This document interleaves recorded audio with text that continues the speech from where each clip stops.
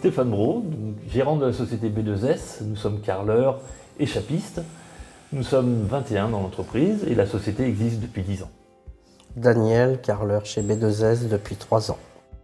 Nous avions un chantier pour Immobilière Atlantique Aménagement euh, sur le quartier de Saint-Lô, à La Rochelle. On avait, 12 logements à, à Carlet. nous avions un contrat d'insertion de 70 heures. Nous avons fait appel à ID Intérim, qui nous a envoyé Daniel euh, Vigneault.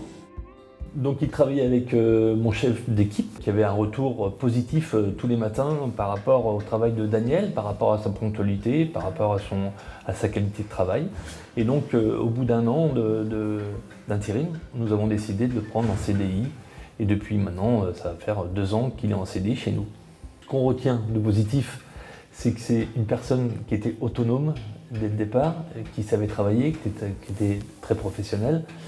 Et euh, on n'est pas passé par une formation. J'ai commencé euh, sur Oléron en entreprise générale pendant 4 ans.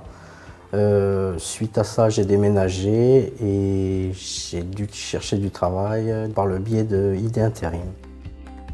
Et ensuite du carrelage chez B2S. C'était quelques missions et après il m'a proposé un CDI et j'ai accepté. Je me suis inséré assez vite. Hein.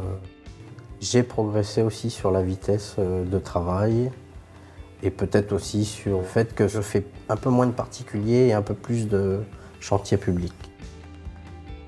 L'entreprise m'a apporté la stabilité au niveau de l'emploi et la confiance en moi, ce qui est une bonne chose. Alors ces personnes ont été recrutées via euh, les marchés que nous avons avec Immobilière Atlantique Aménagement, où on a des heures d'insertion à faire.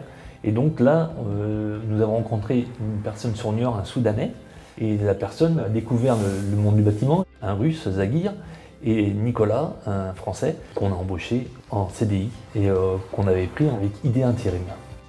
Mais c'est des gens qui sont complètement aujourd'hui intéressants pour notre société, euh, parce qu'ils sont autonomes dès qu'ils arrivent. Voilà. Donc c'est une démarche 100% positive pour nous, euh, pour le développement de notre société.